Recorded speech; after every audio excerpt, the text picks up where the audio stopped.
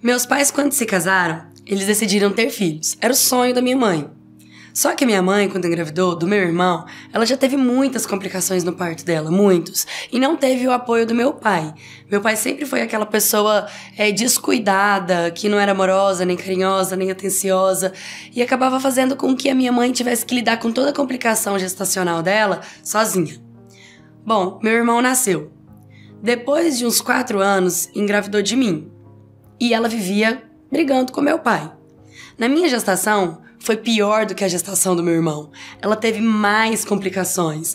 Ela vivia no hospital, tinha que tomar soro, tinha que se alimentar muito bem, tinha muita fraqueza e acabou que o parto também foi muito complicado. No parto da minha mãe, o meu pai nem foi, ela foi sozinha.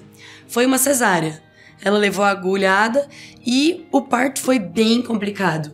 Ela ouvia os médicos e as enfermeiras conversando, do tipo: Nossa, tá difícil. Será que a gente vai conseguir fazer isso? Vai lá e busca aquele equipamento pra gente colocar aqui. Tem que trazer tal remédio. Será que ela não vai ter reação desse remédio? E minha mãe foi ficando muito nervosa com o parto. Bom, por fim eu nasci. Quando eu nasci, eu simplesmente não respirava. Eu não tive nenhuma reação. Os meus pulmões estavam fechados e o médico estava tentando fazer com que eu reagisse. Ele estava batendo nas minhas costinhas, me levantando, me girando e eu simplesmente fui dada como morta. A enfermeira disse: Não tenta mais, não tem mais como, é melhor desistir.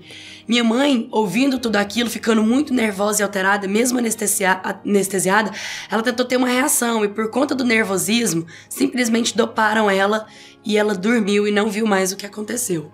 Levaram minha mãe pro quarto e, quando ela acordou, ela me viu. Foi um, um baque, assim, porque ela não sabia o que tinha acontecido e o médico disse que eu nasci com os meus pulmões fechados. O médico contou para minha mãe que a última tentativa em que ele fosse me fazer reagir, porque caso contrário eu não tivesse reagido, ele ia me dar o laudo médico de óbito, eu reagi. Então foi um milagre muito grande, foi uma felicidade muito grande para minha mãe, e a gente ficou no hospital com os cuidados que a gente tinha e logo eu fui levada para casa. Pouco tempo depois, eu comecei a passar muito mal. Foi onde eu tive a minha primeira pneumonia. Logo, com todos os exames, o médico disse à minha mãe que eu tinha bronquite asmática. E como eu tinha problema no pulmão, era bem mais complexo a minha bronquite. Não era qualquer lugar que eu podia ir, nem dormir em qualquer lugar, nem usar qualquer tipo de travesseiro ou fronha, né? Então era um cuidado excessivo. E dentro da minha casa, o meu pai não tinha cuidado nenhum. Então a minha mãe tinha que cuidar quase de três filhos, do meu irmão, de mim e do meu pai, que não fazia nada pela gente. Quando eu tinha uns três anos e pouquinho, meu pai simplesmente saiu de casa. Nunca mais veio atrás, nunca mais ligou.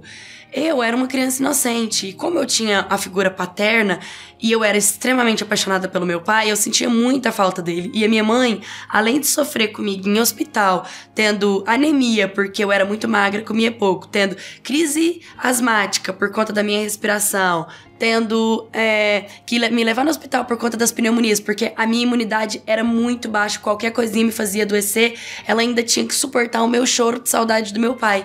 E isso, de certa forma, doía muito nela. A minha mãe, ela nunca foi uma pessoa assim que tinha muita fé, que falava muito em Deus, que acreditava no poder do milagre. Mesmo quando eu nasci, ela ainda tinha essa, esse, assim, esse bloqueio, essa falta de gratidão né? Até porque ela vivia muito complexada com tanto problema e era mais fácil reclamar do que agradecer. E é claro que isso é muito entendível. O tempo foi passando e eu continuei tendo crises. A minha mãe tinha que trabalhar. Ela não podia ficar em casa porque senão a gente passava fome. E a gente não tinha ninguém para ficar com a gente. Então, meu irmão com 7, 8 aninhos de idade e eu com 3,5, 4 anos, a gente ia sozinho pra escola, que era no nosso bairro. A gente ia, a gente voltava e meu irmão que cuidava de mim. Ele pegou toda a responsabilidade, toda a infância dele para cuidar da irmãzinha. E a gente ficava sozinho em casa. E a minha mãe, como não ganhava muito, não tinha como pagar as contas e dar um banquete pra gente, muitas das vezes a gente não tinha comida. Então minha mãe falava: vai pra escola, come a comida da escola, espera eu chegar à tarde, que eu trago quente, que eu trago quentinha do meu serviço. E assim era. Então, todos os dias era assim, a gente só comia na escola. A gente não tinha mais tanta comida dentro de casa e esperava minha mãe chegar. E a gente foi crescendo assim. Meu pai nunca falou com a gente. Quando eu fiz 5 aninhos de idade, eu comecei a ter uma crise muito forte, fui levada para o hospital, tava com anemia, tava muito mal, e o médico me disse que eu, o problema que eu tinha no meu pulmão desde do, da minha gestação era um problema que não tinha cura e que a notícia era ruim. O meu pulmão tava fechando e que ele ia se fechar ao ponto de que eu não tinha mais vida, que eu viveria até os meus sete anos. Então eu só tinha dois anos de vida. E aquilo para minha mãe foi um baque muito grande, né? Tipo, como assim saber que você vai perder o filho daqui dois anos era muito doloroso.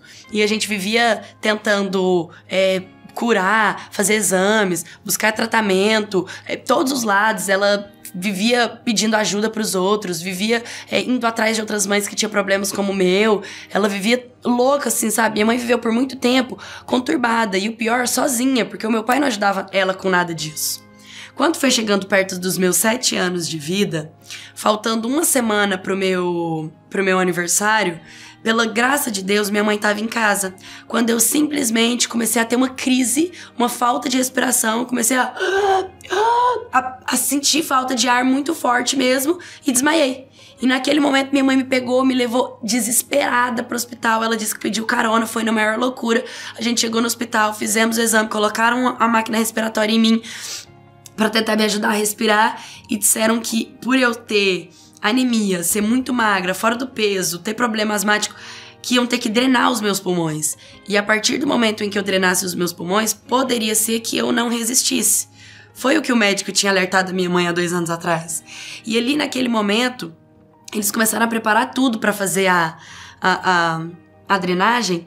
Minha mãe começou a chorar desesperada. E naquele momento foi onde ela colocou o joelho dela no chão e começou a pedir para Deus para para me curar, que entregava a minha vida a ele, que ela tava cansada, que ela tava com medo.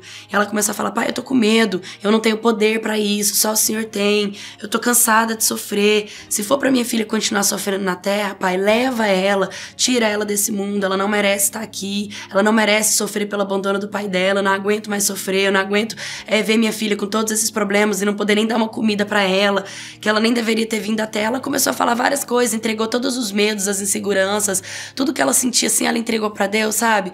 Para se sentir leve e, e falou para Deus que se fosse melhor me levasse, porque se fosse para eu ficar na terra, para por favor, ela implorava que ele fizesse um milagre na minha vida e me curasse, porque ela não conseguiu, ela assim, ela agradecia pelo milagre de eu ter vindo à vida, mas ela não sabia que eu ia sofrer tanto com tudo isso, que se fosse para eu continuar na terra sofrendo, era melhor eu ir, que se fosse para acontecer um milagre na minha vida, que fosse para eu ser curada.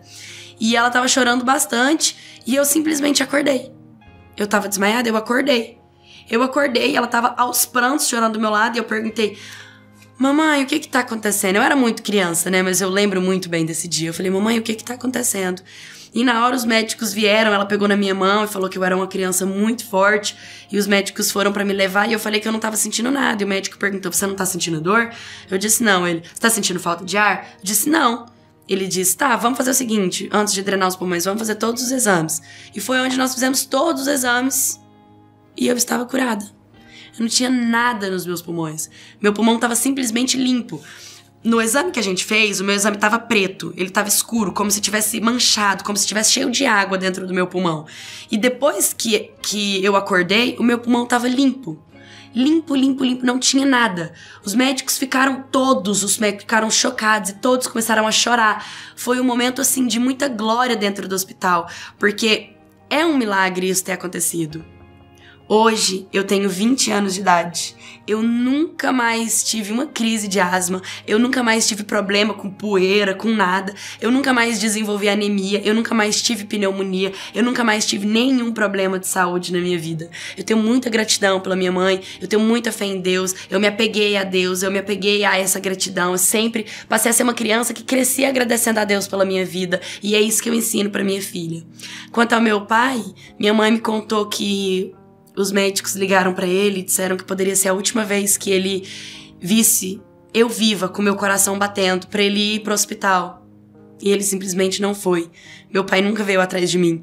Então eu cresci sentindo dor, mas hoje eu entendo que eu não precisei dele para nada, que eu não preciso do meu pai. Eu tenho minha família, tenho meu marido e sou extremamente grata pela fé da minha mãe. Oi, My Cats, tudo bem com vocês? O vídeo de hoje a gente fala sobre fé, sobre esperança, sobre milagres, sobre cura. E eu convido você a acreditar no seu problema e acreditar na solução desse problema. Que é aquela frase, né? Se você tem um problema, então foca na solução. E se a, se a sua solução é acreditar num ser maior, acreditar num ser divino, acredita, gente. Se esse é o caminho para cura, então se entrega, sabe? A gente às vezes fica se prendendo a isso, a não acreditar, a não querer confiar, e a gente perde a oportunidade de acreditar na gente mesmo, na nossa própria cura. Então se entregue ao que for o melhor para você, né? Receba esse milagre, receba essa energia positiva, essa energia boa e acredite, né? Sempre agradecendo de qualquer forma por estar em vida na Terra.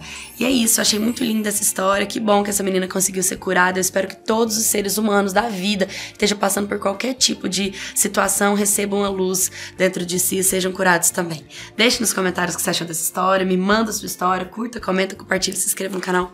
Um beijo e até o próximo vídeo.